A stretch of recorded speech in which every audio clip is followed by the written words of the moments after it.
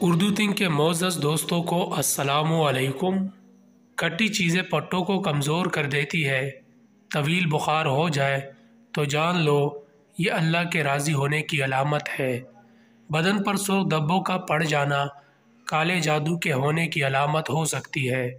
Washroom और गसल खाने से पीले धब्बों को दूर करना है तो नीम गर्म पानी में सिरका डालकर साफ़ करें। नमक फालज का ख़तरा बढ़ाने वाला अहम तरीन अंसर है।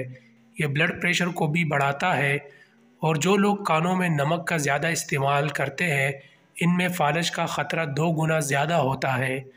क्या आपको मालूम है कि समंदर की तय में इतना सोना मौजूद है कि अगर ये ज़िंदा इंसानों में बांटा जाए तो हर इंसान के हिस्से में चार किलो सोना आ सकता है। ज़्यादा नाराज़ रहने और जहनी दबाव से चिड़चिड़ेपन की बीमारी होती है। गीले बालों में कंगा करने वाले अफराद के बाल रूखे और बेरोनक हो जाते हैं। कड़े होकर नहाने वाली औरत के बदन की जल्द ढीली हो जाती है। दोस्तों, इस तरह की मज़ीद मालूमती वीडियोस के लिए उर्दू दिन को सब्सक्राइब ज़रूर करें। अपना बहुत सारा ख्याल रखें। अल्लाह हाफिज़।